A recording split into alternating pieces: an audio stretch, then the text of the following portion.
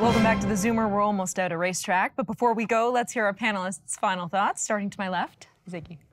Ah, okay. Well, we've talked about a lot of different products and different solutions to everybody's uh, aging problems. I don't mind saying the word, like I said, but do what pleases you, I think, is the important thing. Uh, it's your decision at the end of the day, but do watch out with your eyebrows, please do not mess with them. I did mine. Or also your hair, don't mess with them too much. And just live life to the fullest and enjoy your life. I mean, the way I see it, you're the person who has to wake up with your face and yourself every morning. So do whatever makes you happy, um, but be be careful of that sort of downward slope addiction of treatments that can happen when you just start with the tweaks and sometimes the tweaks turn into a, a landslide. So just keep yourself in check. And I do have to say, as one of the faces of Zoomer Beauty, I love these products and um, you should try them.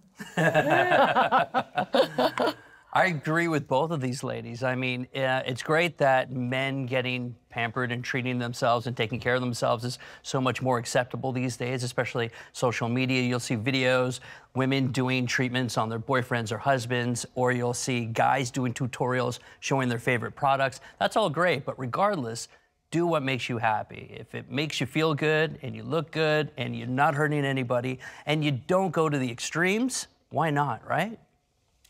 Marilyn? Well, uh, I believe in doing whatever makes you feel great, and certainly these products are wonderful and are very, very, helpful. But I have to inject a word of caution here. Uh, I have a dermatologist that I think is absolutely wonderful. However, she has an associate which does beauty stuff, and I decided to have a collagen treatment, which I understand that takes a year until it all is kind of absorbed. However, in the process, she burst a blood vessel kind of up here in my forehead, which is permanent. It's there mm. forever. So you have to know who you're getting into bed with. Be careful. Yeah, well said.